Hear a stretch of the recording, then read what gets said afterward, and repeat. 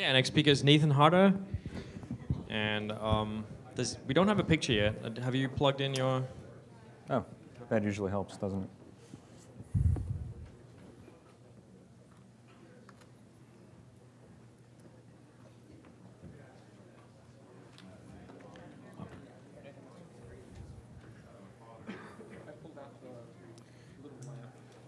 Okay, we have pictures on the left and right, not in the middle, but that's that's okay. We can we can uh, kick it off.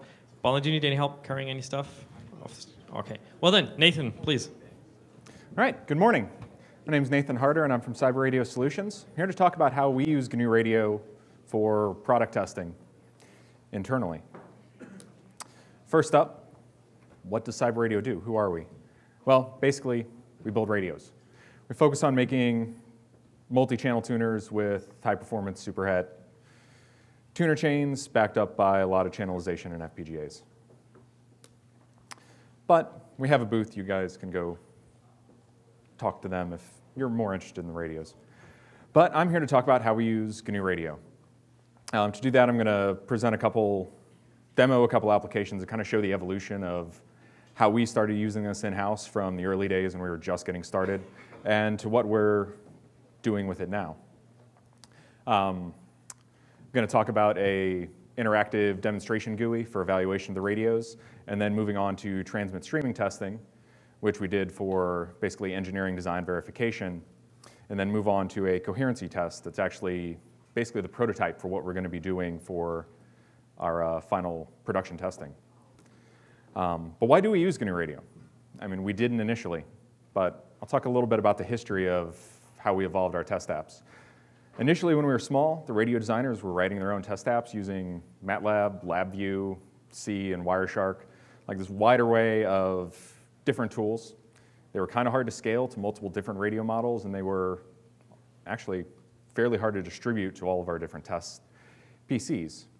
So what we did is we re-implemented a lot of those using our own Python framework with C++ for high-speed data acquisition. Um, that kind of solved our distribution problem because we could package all of it, drop it on any of our Ubuntu machines. We also implemented a common radio API that would let us scale up and adapt to new radio models as we made them. But this was a command line application written in Python, so it was, they're rather slow. One of the production test apps actually takes you know, like overnight to run for one of the receivers, and we don't really want to wait that long. So we started taking a look at GNU Radio. I mean, we had had some experience with this in other, other arenas, but you know, using the real-time data processing in GNU Radio will actually let us speed up some of our tests by quite a bit. And also, we use GNU Radio Companion a lot. Our initial applications were command line, mostly because I don't really like writing GUIs. And GRC actually handles all of that for me, so I can focus on the things that I actually want to do, which is not GUIs. So um, the first application we wrote was a really basic demo GUI, and this was mostly our, you know, our continuation of the getting started with GNU Radio demo. So we could learn how to use it. We could take our command API that we developed for our Python test code, we could wrap it in a block, and we could also start building our own data sources for the radio. Um, we offered this to customers basically as an evaluation tool so they could use, so they could do basic RF performance evaluation on their own to make sure we're not lying on our data sheets. And they could assess how, this, how the radios will actually fit into their systems. Um, and here it is running. I've got one of our radios stashed on the podium. I mean, it's really fairly basic. We just use some of the Qt display widgets, the really nice GUI and water, or spectral display and waterfall. Um, and with the control block that we wrote, you know, that, that allows us to connect a lot of the analog and digital controls to, you know, the actual radio, our actual radio ICD. Internally, it's really quite basic, but the first block we started with was our control block. This just wraps our Python command API. And, um, but then once we started using the UDP sources here, we found out that uh, you know, with the Vita49 framing we use in our radios, kind of had to start building some of our own. So we could do flexible Vita49 frame parsing, handle different endianness of the packets and frame sizes actually fairly flexibly and quickly. Um, but all in all, this is a pretty basic application. And I'll skip these slides. I added screenshots in case the demo didn't work. Um, so further down the line, you know, we built a lot of receivers. As we were starting to build our first transceiver, you know, we had to learn a little bit about transmitting out of the radio. You know, receiving from the FPGA side is fairly easy. You just grab samples from the A to D, filter them, packetize them, and send them on out. For the transmit side, especially when you're running from a client PC, um, you know, your clock's never going to be in sync with your radio. So, you know, we had to build our own transmit streaming library, and we also had to build in a lot of controls to test all of the new FPGA features we had dropped in for the upconverters, you know, like buffer management and DAC management as well. So this basic application, what we do is we synthesize a couple signals in GNU Radio, send them to our sink blocks through the uh, independent transmit channels, and so we don't have to use a spec and to take a look at the output. We just loop that back into the receive channels on the radio and use our own data source blocks with really basic plots just so we can see what's going on. But the main purpose of this is for us to actually exercise all the various controls in the radio.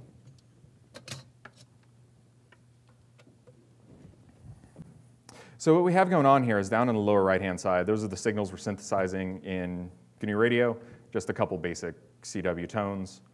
Um, up here we have the wideband data received from our radio, which is um, you know, color coding we use. So you know, transmitter ones loop back into RF1. So what we're sending out here, it's a basic visual verification that what we're actually receiving is relatively free of distortion. Um, we're not really concerned with using spec ands here because we don't necessarily care about phase noise and all of that for this. Um, Yeah, and then down here on the side, we have all these controls for the digital parameters. We can set you know, our sample rates, our analog center frequencies, digital center frequencies. Um, and as part of actually tweaking our transmit control library, we added all these options for how we update our flow control algorithm, whether we're doing it based on buffer occupancy or periodically. Um, and I also took a look at UHD because that was a really good example of how they solved exactly the same problem. And additionally, we have the really simple control so you can change the, uh, the, the synthesized frequency. There's a lot of latency at the sample rate we're running. So there it goes. Um, so inside this application, like the other one, our signal flow is really basic. We have our Vita49 receivers that are just feeding some of the GUI widgets. But what we did end up implementing was somewhat atomic control blocks for the different elements in our radio. So we can drop one of these on here to control a tuner or a down converter. Um, and we started looking at async messaging for external control of these as well. So for like control and status, we formalized our interface over here, just use JSON over the async messaging. It works out really well. Um, it also lets us hook up like the PDU sink so we can get external applications into the mix as well. Um, and then for things like the tuners, we added the frequency sink, so the click to tune and the GUI widgets work really well. And down here we have our sink block, which is really just like similar in concept to the USRP sink, where we have our, C, our base C++ library that's actually managing the transmit client, and this is a really thin wrapper on top of that implementation. Um, but interestingly, one thing we found out here was when we tried to uh, drop the signal source in here, just uh, synthesize a sinusoid to stream out to the radio, we found out that at the high sample rates we needed, the signal source actually couldn't keep up. But if you broke it out into a constant source and a rotator, everything was fine. But most of the work in this GUI, the signal flow is really simple. Most of the work in the GUI was actually just dropping all of these a multitude of parameters and variables and GUI widgets. And you know, this is a lot of stuff to manage, but I greatly prefer this to actually writing any of the GUI code by hand. I, I really have to hand it to the GNU Radio Companion crew because that is an excellent tool.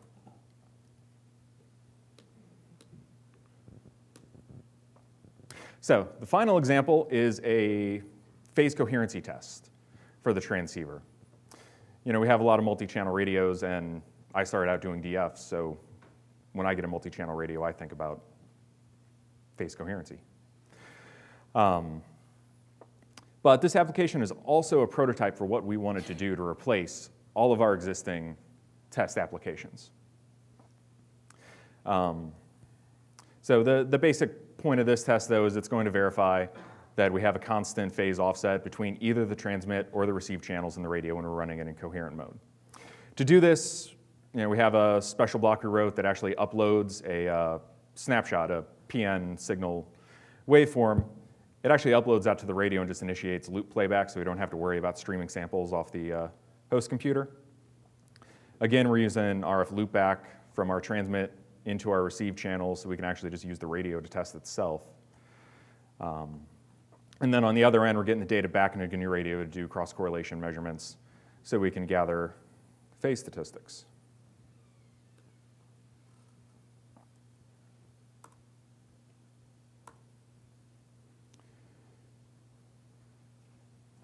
Ah. And here it is. Um, I'll run through the basic GUI displays real fast. Down here in the lower right, we have a receive signal. Um, it looks rather boring. We were just sending out a PN sequence, unfiltered BPSK. It's sufficient for what we need. Um, up top is our cross-correlation output. So you have your, your normalized cross-correlation magnitude versus delay. And then down here, this polar plot is actually a history plot of your cross-correlation peak. We're using the phase of our cross-correlation output peak to actually do our phase, our channel-channel phase measurements. Um, the neat thing about doing it this way is if we base it on the cross-correlation output, even if we drop samples or if the radio channels become unsynchronized, um, if we use the cross-correlation peak, that will give us the same phase value with, uh, with any delay removed. If you zoom in down here, pretty far, you can actually see that's not just one dot. It's, it's a spread of samples as we're updating our measurements over time. And the spread of that is essentially your, the variance of our measurements. Um, also, what this, this application is doing, we're basically measuring the phase offset between channels across tuning cycles or across power cycles, but I'm not going to power cycle the radio here. Um, but what's going on is this application is actually taking a set of measurements at a given frequency. It's tuning off and then tuning back and repeating the measurements. So it can build up a history and actually verify that everything's working. Um, you know, if we end up running the part of the radio in non-coherent mode, uh-oh. Okay, so I won't do that. Um, so let's take a look at what's inside here. Now, the entire idea behind this application was I wanted to see just how much logic I could build inside one GNU radio block and have the entire application generated using GRC. Instead of writing my own top block that has all the management logic in there and rely on hierarchical blocks, I want to see if we could just do the whole thing in one. So the core of this application is actually just in this one block. It's our test controller. This is what manages all of our test logic as it iterates through different frequencies and configurations.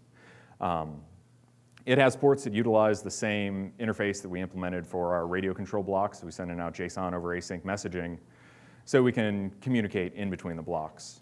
The snapshot playback block is a separate, you know, it's a separate one. It's what, what's actually generating the uh, RPN sequence and uploading it to the radio. It's triggered from the coherent test controller.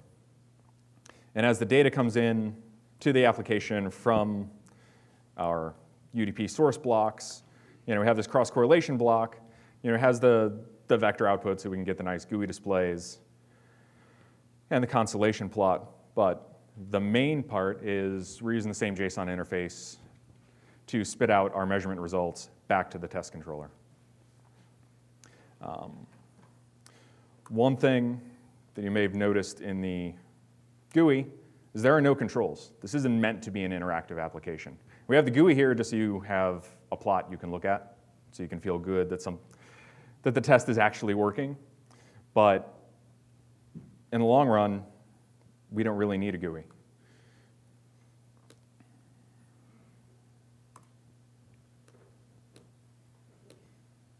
So, where do we go from here? Well, since we made this presentation, we've actually taken the coherency test and we started building up more receiver test applications. So we can take a look at tuner gain, noise figure, third order intercept, and then actually doing some iterative optimizations on these so we can meet specs but actually kind of hit you know, optimal points as opposed to just minimizing one and hoping the rest all work. The end goal is we're actually going to take all of these and build a completely automated test suite for the products.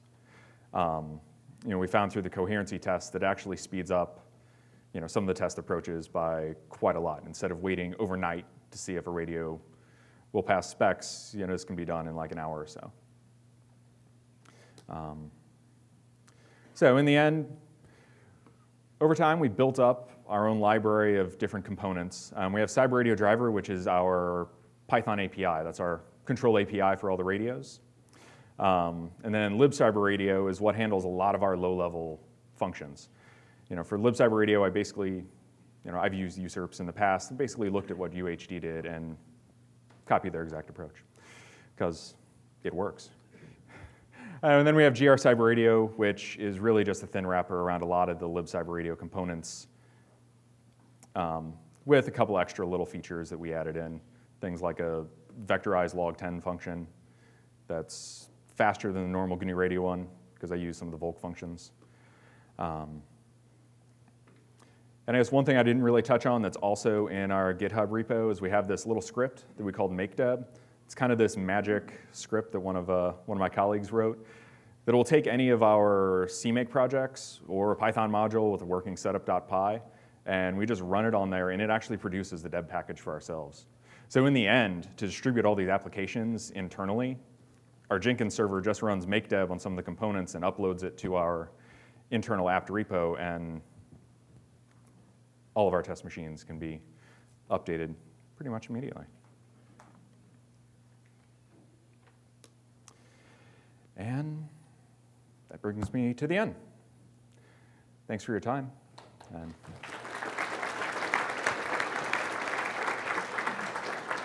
Perfect timing. We're right on track.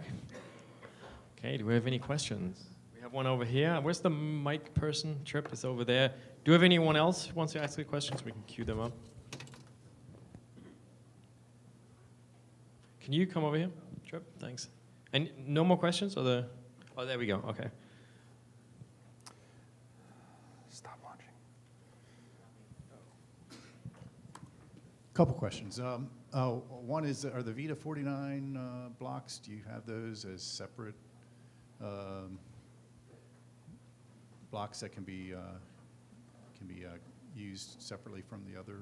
Yes, in the GR Cyber Radio package, our, I, I, I think we have like five different versions of Vita processors as we kept changing our minds on how we wanted to implement them. But they're actually all self-contained blocks in the GNU Radio library, so they're really flexible Cool. on their uh, Nice. on, on how they can unpack or unpacketize, parse the frames, and give you the information.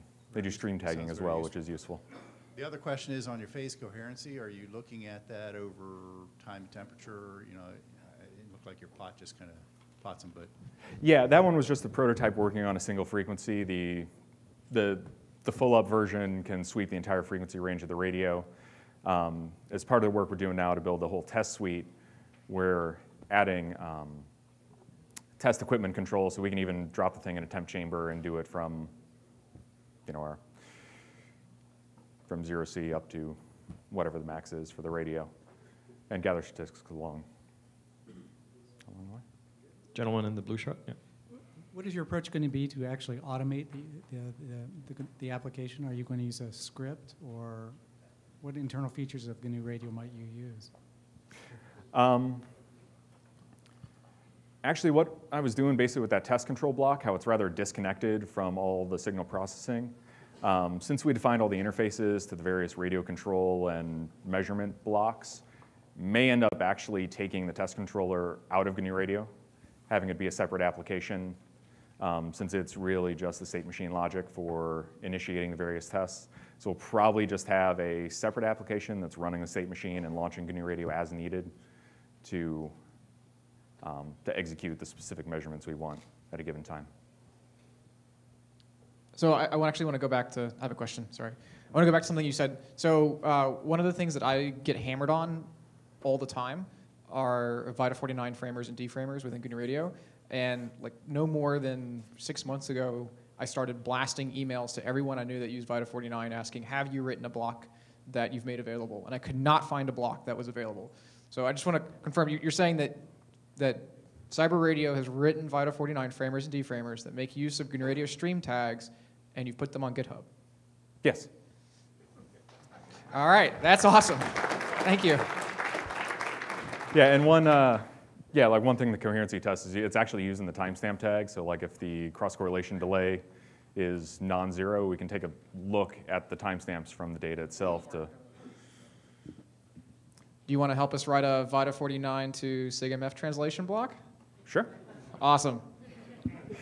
That deserves another round of applause. Is uh, is the next presenter here, Adam? Yeah, you can start walking up. Um, I don't think there's any more questions for Nathan. I just want to quickly want to mention that um, Cyber Radio Solutions is another sponsor of the GNU Radio conference.